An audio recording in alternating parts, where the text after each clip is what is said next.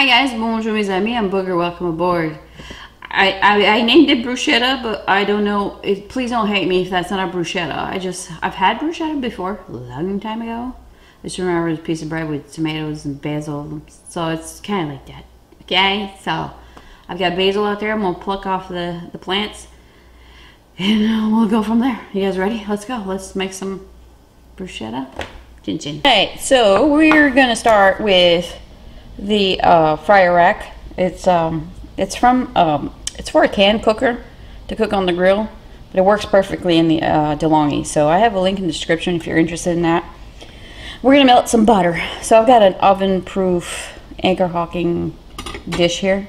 You can use any, anything you want as long as it's oven-proof. You don't want to put anything plastic in there. That's a half a stick of butter, and we're gonna melt the butter first. So bottom top Let's put the top at three. Let's melt that. All right, that took about two minutes. She's all melted. I've got a teaspoon of Italian seasoning in there. Mix that up.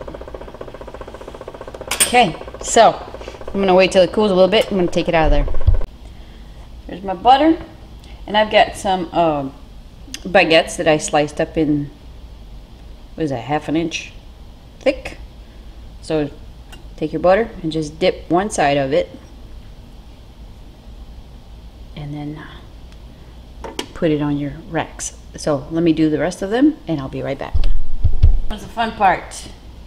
I've got some tomatoes, it's just a regular beefy tomato and I've sliced them up not too thick, just about half an inch like this and cut them in half so put a slice on your bread, like so. Okay, let me do that. I'll finish. Okie dokie. Salt and pepper.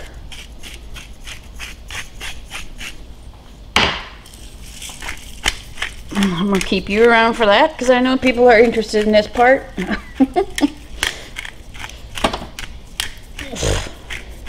I'm in a weird angle. It's not hard. It's just, you know. Okay. Now we've got some basil leaves.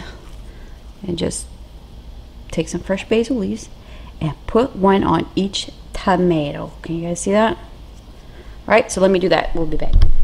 Isn't that pretty? All right, here I've got some mozzarella with prosciutto.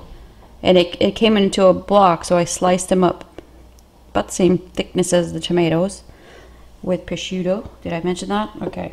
So just layer that on top of everything. So let me finish that. Isn't that pretty? Okay.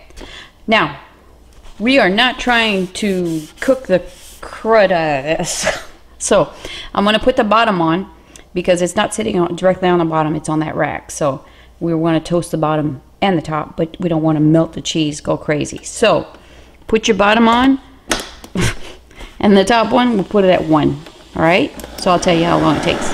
We'll be back. Hey, that was probably six minutes. Look at that. The cheese is melted. That's what we're aiming for. And we've got toasted bread, so we're gonna let that cool. Plate it and taste it. I know it tastes good. We'll be back. Okay. I know how they taste. I made this for a movie day the other day. I got a couple girls over here. But I made them in the oven so if you don't have an air fryer, you should get one, first of all. And uh, if you don't, well, do them in the oven. 350 for about 10 minutes till the cheese is all melted in goodness. Yes. Here we go. Mmm. Give them a bite. It's so freaking good that basil in there. Oh yeah. Well, there you go, guys. Bruschetta, bruschetta, wherever you want to call it. It's friggin' good. All right. Thanks for shopping. Bye-bye.